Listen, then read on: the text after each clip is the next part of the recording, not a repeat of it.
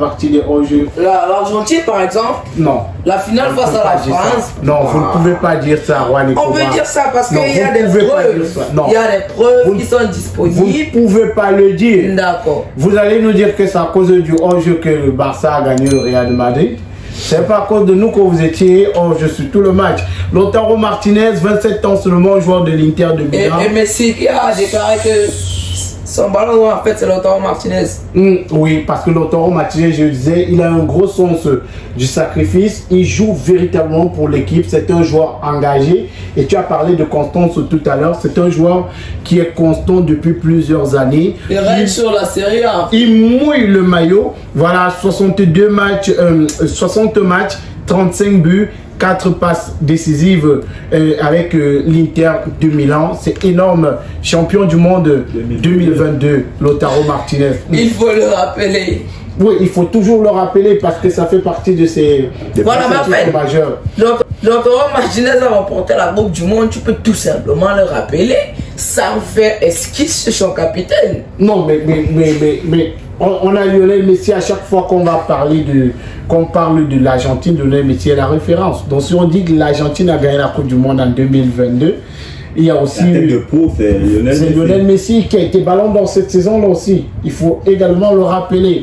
Voilà Cristiano Ronaldo qui est qui est Désolé à tous les fans de CSL qui me- qui m'écoutent. Je suis également fan de CSL. Je suis fan Comme de ces, monde, comme de ces joueurs-là qui, qui, qui jouent de leur talent, mais surtout les gros bosseurs. Nous font, Dans tous nous- les cas, nous font faire vivre des rêves. on- À, à cette époque, voir Lionel Messi et Cristiano Ronaldo jouer, vraiment, c'est c'est une merveille. maintenant on est, on est dans les années de, on est dans les dernières années. Euh, Oui, on- on, on est dans cette année de transition où on a les Cristiano Ronaldo et les Lionel Messi qui sont un peu à peu en train de partir. Euh, en termes de départ, la retraite, on a eu Iniesta qui a la, la retraite. euh, donc on a eu Toni Kroos. Donc on a fait, ces garçons ils sont en train de partir. Et là, on a la nouvelle génération, t'as vu les Vinicius. Là, on part Juan Mbappé. Koba pour euh, Meilleur gardien. le prix euh, Moi, je miserais sur Lonin. Lunin. Oui, parce qu'il a fait une grosse saison. Avec le Real, même s'il n'a Oui. pas joué la finale de la Champions de, League. de- de- Et c'est pour ça aussi que j'ai beaucoup reproché au, au coach Carlo Ancelotti parce que je me dis, oui, c'est vrai que Courtois c'est le meilleur gardien, mais quand même, Lunin t'a porté toute la saison. Donc je crois que lorsque le Real Madrid mène 2-0, il pourrait quand même le faire entrer pour déguster les dernières secondes. Et c'est Lautaro Martinez qui va remettre le trophée. Voilà, Déjà. Alors, Emiliano Martinez qui gagne le titre, toujours l'Argentine, il gagne le titre, le prix Yachine de ce ballon d'or 2024. Emiliano Martinez, quand même, euh, euh, Juan Icoba, on va pas dire qu'Emiliano Martinez il est le seul gardien de but nominé au ballon d'or cette saison. Il a fait, il fait une saison, il a quand même fait une saison énorme avec Aston Villa. Et il faut le dire, Il, a remporté combien de trophées il a gagné la Copa América, qui est un championnat, qui est, qui est quand même un championnat majeur. Il a remporté la Copa América. mais alors, 62 On, matchs, on refait 27 le palmarès clean sheets. de Lunin 62 matchs, 27 clean sheets. Non, moi, moi je pense comme On toi que le palmarès de je Lunin pense comme toi que Lunin, mais, mais, mais, mais il faut aussi rappeler que Lunin n'a pas joué toute la saison. Parce qu'après, il faut aussi le voir. Lunin, il n'a pas joué à part euh, la Champions League. de, de, de Thibaut. Voilà, il a joué la Mais Thibaut Courtois se blesse très tôt dans la saison. Oui, On peut mais, dire qu'il a réellement porté le Real. Il a porté le Real pendant- Madrid oui. toute la saison. mais, mais- mais il faut aussi Il dire- a euh, Champions League, euh, Liga, tout, tout, tout cela. Mais, après, il, il- il a été Et engagé uniquement au club. Il était engagé uniquement au club. Ce qui peut jouer. Emiliano Martinez Emiliano a, a, joué, a joué sur. il a joué la Copa América, Non. oui. a Oui, Emiliano- Martinez Aston Villa, a il y joué a. sur deux tableaux. Ça peut, ça peut jouer énormément. On a vu le ballon d'or de Modric, je crois, en 2018. En 2018, Modric gagne le ballon d'or en grande partie parce qu'il euh, il fait une magnifique Coupe du Monde. En fait, moi, je me dis, à partir d'aujourd'hui, comment pour, pour, pour remporter le prix de meilleur dans les compétitions, il faut arrêter les pénalties et puis c'est tout. Parce que Non, dimanche non, dernier, non, non, tu peux je, parlais, je parlais, je parlais de, de, de- des CAF Awards, Mm. tu vois, des CAF Awards euh, dans mon émission. Et puis là, moi, je proposais, je disais en fait que dans, puisque dans la catégorie meilleur gardien, on a André Onana, euh, dans les CAF Awards africains, Mm. ballon d'or africain. Vous souffrez de mal de rein, mal de dos, mal de genoux, faiblesse sexuelle, paludisme, typhoïde, vous souffrez de nerfs, nerfs sciatiques, problèmes de constipation, vous voulez perdre du poids, vous souffrez d'obésité et d'autres maladies. Mesdames, Messieurs, voici la solution pour vous. Power Health, c'est le médicament conçu spécialement pour éradiquer toutes les maladies de votre corps. Avec ce médicament fait à base de plantes naturelles, vous trouvez la guérison en trois jours seulement. C'est le moment pour vous de vous lever, de marcher. C'est le moment pour vous de dire au revoir à toutes les maladies qui menacent votre santé. Contactez dès à présent le numéro de téléphone qui est présent sur le petit écran et retrouvez la guérison grâce à Power Health mes invités étaient tous d'accord que c'est Randall Williams qui mérite le titre de meilleur gardien africain parce qu'il a arrêté 4 pénaltys à pas, pas forcément Moi, je suis pas d'accord. Pas parce que on, on, a par exemple. Qu'Emiliano Martinez c'est un expert au penalty. Non, en 6 matchs. Non, en 6 matchs, en 6 matchs de Copa América. 8 clean sheets en 39 non, matchs. En 6 en 34 matchs. En 6 matchs, tu remportes le En 6 matchs de Copa América, il te fait 4 clean sheets. C'est énorme. Et après, il est décisif aussi. Vous l'avez vu en 2022 lors de la Coupe du Monde. Il est décisif. D'accord. Maintenant. Et mais on n'est plus en 2022, Magic. Non, ce sont, des exemples, ce sont des exemples que Nous ne sommes plus en 2022. ce sont les exemples que je prends. Il a gagné la Copa América, il est sorti meilleur gardien de la Copa América. Donc, moi, Parce que si on prend la similitude entre Randall Williams et, et, et Martinez, c'est que les deux arrêtent des pénalty. Non. Parce que tu peux pas dire non, que bah, tu Emiliano Martinez n'arrête que les pénalty. Je ne veux pas dire qu'il arrête que les pénalty, mais Lounine quand même. Lounine, moi je suis d'accord que Lounine a fait une, une belle saison, mais euh, l'avantage avec, euh, avec euh, Emiliano, c'est qu'il a joué sur deux tableaux. Et ça joue énormément dans le ballon d'or. Les compétitions sur lesquelles tu étais engagé. Voilà. Il n'a même pas joué. Non, il a joué quelques matchs avec ah, l'Ukraine. Avec l'Ukraine, voilà. Mais, mais après, c'est ça le truc, c'est que la différence se peut jouer à ce niveau-là. Vous avez des joueurs qui peuvent finir la Champions League, le championnat, et qui partent briller à l'euro, ça va certainement avoir les, les répercussions sur, le ballon d'or, surtout les années où il y a ces championnats-là. Même si en termes de comportement, Emiliano Martinez n'est pas un exemple. Et les Français ne l'aiment pas. Pourquoi Non, il n'est pas un exemple. C'est un chanteur, c'est un, c'est un arrangeur. Mais en fait, c'est ça, c'est son on va dire que c'est, il, fait du mauvais comportement parce que arrêter un penalty et faire le, signe euh, au Non, non, il ne fait pas que ça. Il fait pas que ça, Juan. On l'a vu avec la tête de Kylian Mbappé. Il fait pas que ça. On sait, en termes de comportement, on a Raphaël Benitez qui est également dans la salle. En termes de comportement, c'est pas le meilleur joueur. En termes de fair play, c'est pas forcément le meilleur en fait, joueur. Ça et c'est pas le joueur. Qui veut raser nerveux. C'est pas le joueur des Français. Et ça l'aide beaucoup pour ces pénaltys. Moi qui n'est pas de fil. Oui, oui, oui, oui. Bon, mais, mais, c'est Jean Ramos, oui, c'est Jean Ramos qui n'est pas docile, mais euh, c'est Jean Ramos est, moins provocateur quand même qu'Emiliano. En termes de provocation, Emiliano, c'est peut-être le sommet dans Et le en même temps, ça l'aide aussi. Puisque bon, c'est lui le premier à provoquer, mais celui sur 5 pénalties, il en arrête 7. Oui, donc, oui, donc euh, et, il est un peu euh, comme Cédric Doumbé. il te dit, je, veux faire, je le fais. Et il le fait. il le fait, ouais. Parce qu'il ne parle pas dans l'air. Mm, C'est-à-dire mm. qu'il te dit, je vais te mettre KO au premier round. Et il le fait. Et moi, Cédric Doumbé, on va dire qu'il m'a terminé cette semaine.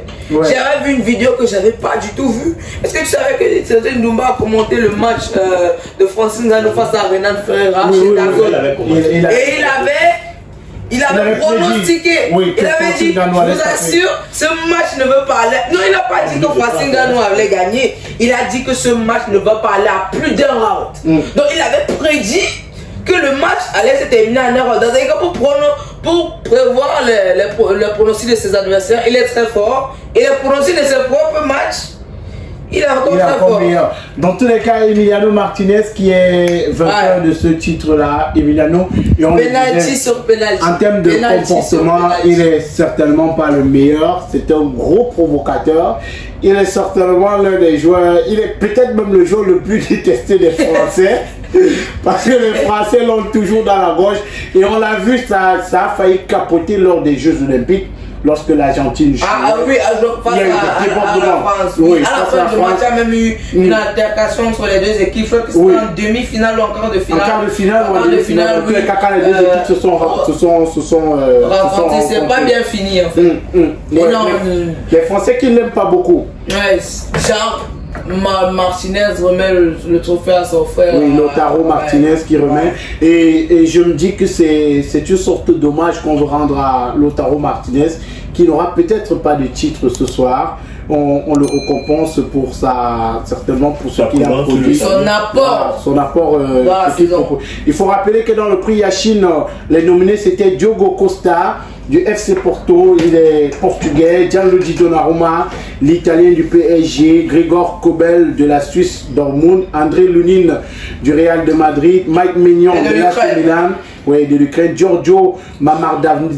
Ma, de, de Valence, Emiliano Martinez, le vainqueur, Unai Simon Voilà, et Yann Sommer. femmes, on a Voilà. William. On continue avec les femmes, septième position. Euh, Katoto, oui, et en sixième. position, Mayori. Mayori. Oui, Mayori également à la cinquième place. Et, 5, 4 trophées cette saison. oui, oui, à la quatrième, on, Marie-Antoine Katoto. Ouais, c'est quand même un, euh, du côté du Paris Saint-Germain de la division féminine, c'est un monstre. hein. Euh, elle est beaucoup questionnée sur le Paris Saint-Germain parce que là on se dit est-ce qu'elle va rester, est-ce qu'elle va partir? Et, et là euh, on se dit waouh. Et, et- Katoto, vraiment. et- et là, on va, on va passer à la remise d'un Du autre prix. Socrates. Oui, le Le prix. prix Socrates l'engagement caritatif et tout. Mm. La dernière euh, édition avait été remportée par Vinicius et celle d'avant par Sadio Mané. Donc, Sadio pour- Mané, oui. donc pour ce soir, roulement de tambour. Il faut dire que Sadio Mané qui a réalisé de belles choses dans son pays, le Sénégal, la dernière réalisation en date, c'était ce, son- ce complexe sportif-là, terrain, euh, terrain de Un peu comme football. un sort- une sorte de Kimale multisport. Voilà, bah, Kimale, c'est. Kimale, c'est. Dans tous les cas, c'est. Oui, oui, disons Kimale est en grandeur mature. One fait de la pub pour son ami.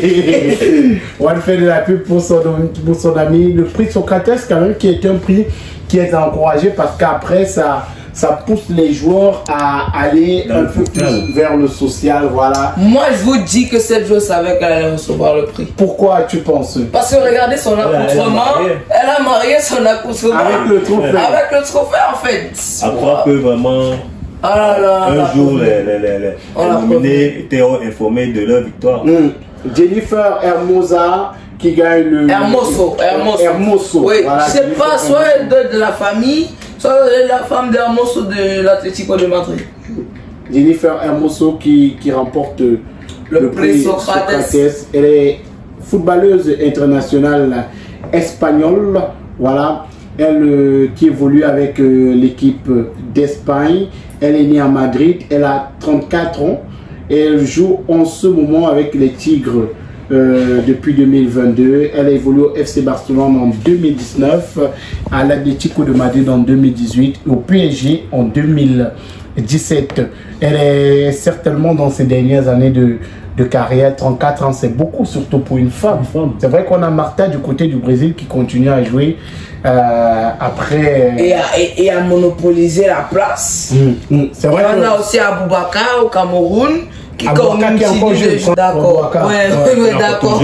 Mais c'est le point même. Cristiano Ronaldo D'accord. a 39 ans, il a encore pratiquement une il a année devant lui. et Yamoura continue à Oh marquer. oh Donc oh quand on parle du prix Socrates qui, qui est gagné par euh, Hermoso, voilà, Jennifer Hermoso qui gagne ce, ce prix-là. Et, et on le disait, c'est un prix qui est encouragé parce que ça pousse les joueurs à aller vers, euh, vers le social.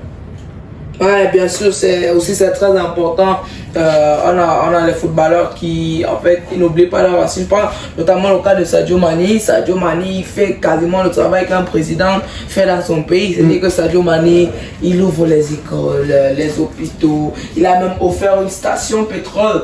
euh, euh, du côté du Sénégal et les plus grands bénéficiaires c'est ce sont les habitants de Bambali son visa son village autant pour moi on a les meilleurs élèves de, de, de son établissement de 16 établissements Mm. qui bénéficient des bourses des ordinateurs portables et tout donc et Jennifer Hermosa qui a droit à un standing ovation. Ovation. Voilà, euh, elle qui reçoit ce standing ovation. Tout le monde est debout, les légendes, les, les, les, les grosses. Les amis, avant de continuer, marquons un petit arrêt pour parler de la gamme de produits de beauté MAC Beauty. MAC Beauty, c'est une gamme de produits pour l'entretien et la beauté de votre peau. MAC Beauty, ce sont des produits 100% naturels pour l'entretien de votre peau. Contactez dès maintenant MAC Beauty au plus 237 6 99 43 39 85 et procurez-vous vos produits. Chez MAC Beauty, vous avez également la possibilité que l'on compose vos produits en fonction de ce que vous recherchez. Si vous voulez une peau plus claire, si vous voulez une peau plus soyeuse, si vous voulez une peau agréable au toucher, MAC Beauty vous compose le produit idéal. Vous avez les produits chez MAC Beauty pour les peaux noires, pour les peaux claires, pour les peaux brunes. MAC Beauty, c'est la référence en termes de produits de beauté. MAC Beauty, c'est une gamme complète. Crème de toilette, lait de toilette et savon pour la beauté de votre peau. MAC Beauty, ce sont des produits qui hydratent, adoucissent et protègent votre peau. N'hésitez surtout pas à contacter MAC Beauty pour vous procurer vos produits dès maintenant.